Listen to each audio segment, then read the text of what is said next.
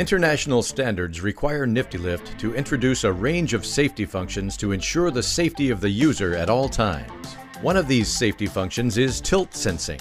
Niftylift have been using tilt sensing for many years, and it's a robust and reliable system. The Niftylift tilt sensing system is made up of two main components, the tilt sensor and the master PLC. The tilt sensor will always be positioned in the same general location regardless of machine type. The tilt sensor incorporates an accelerometer, which measures the angle relative to gravity. During the production of the machine, the tilt sensor is calibrated. The output of the tilt sensor is fed directly into the master PLC, where the signal is analyzed. If the tilt angle exceeds the limit while the booms are elevated, the master PLC will limit drive functions. The trigger angle can vary depending on the specification of the machine.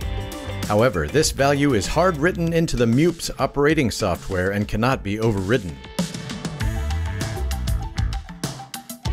When driving in the stowed position with the jib arm raised, the tilt sense system is not active. This allows the MEWP to navigate slopes exceeding the elevated limit without restriction. The tilt sensing system only becomes active when the booms are elevated.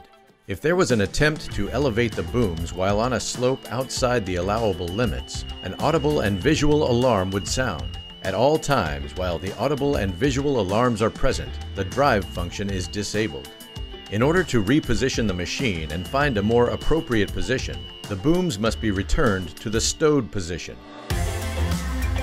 If the MEWP is driven while elevated and the tilt angle exceeds the limits, then the drive function would stop immediately. In order to navigate the MEWP away from the slope, the booms must be lowered to the stowed position. Once the machine is at a safe angle, the booms can then be raised. Niftylift's tilt sensing is fully road tested. It's a reliable system that's been in operation for many years.